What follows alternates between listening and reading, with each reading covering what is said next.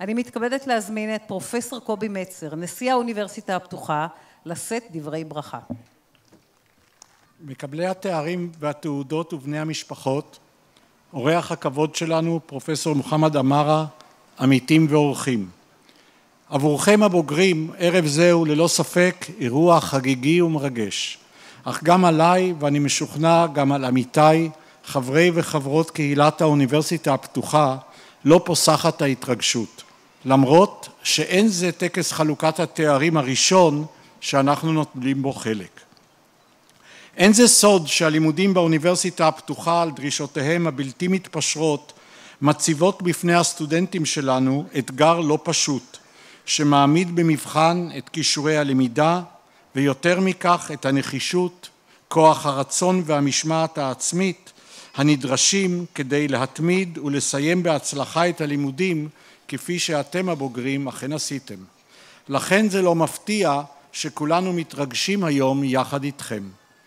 טקסי הענקת התארים באביב זה, כמו יתר האירועים שלנו בשנה הנוכחית, עומדים בסימן 40 שנה לפתיחת הלימודים באוניברסיטה הפתוחה, שהעמידה בארבעת העשורים הראשונים לקיומה למעלה מחמישים אלף בוגרים, ומהתחלה צנועה של אלפיים סטודנטים וחמישה קורסים בסתיו 1976, הפכה לאוניברסיטה הגדולה בישראל, שבה לומדים כיום כ-47 אלף סטודנטים וכ-500 קורסים מדי סמסטר.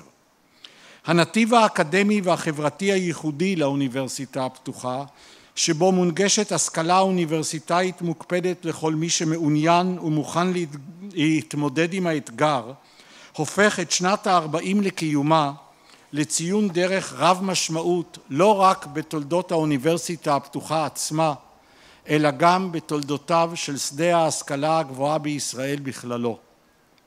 על כך ממלאים אותנו טקסי האביב של, של 2016 שמחה גדולה וסיפוק רב שמתווספים להתרגשות האופפת אותנו בכל טקס של חלוקת תארים.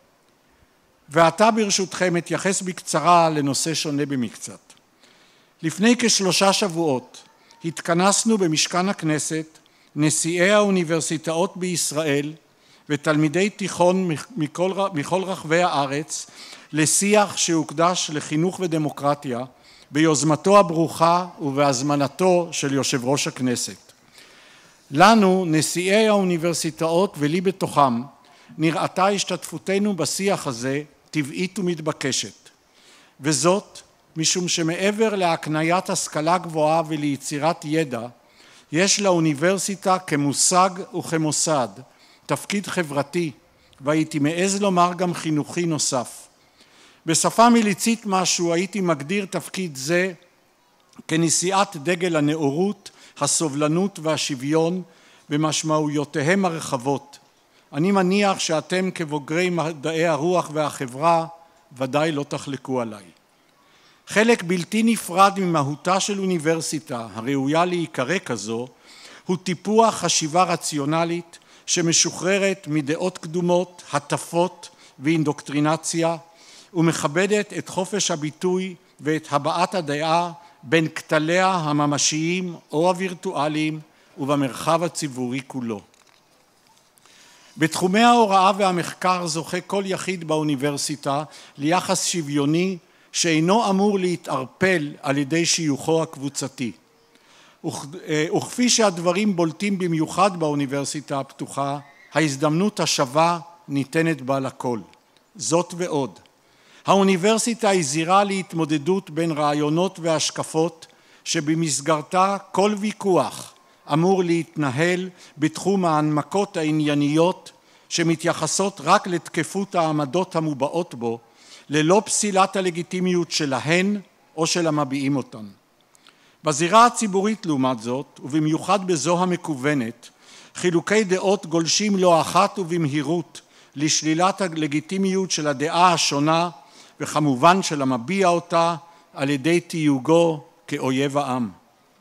על רקע התופעות הללו שהולכות ומתגברות בחברה הישראלית יצאנו נשיאי האוניברסיטאות בישראל בהודעה משותפת לקראת השיח בכנסת על חינוך ודמוקרטיה שבה נכתב בין השאר כך, ואני מצטט: התייצבנו היום כל נשיאי האוניברסיטאות כדי להתריע בפני תהליך הכרסום האיטי והמתמשך באושיות הדמוקרטיה הישראלית, שמתבטא בשיח פוגעני, באלימות מילולית ובחוסר סובלנות כלפי האחר והשונה.